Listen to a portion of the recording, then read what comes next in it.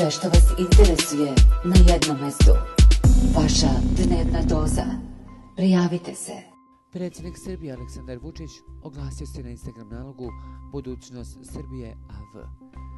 Rekordan broj radnika danas na gradilištu Beograda na vodi radi 2200 ljudi.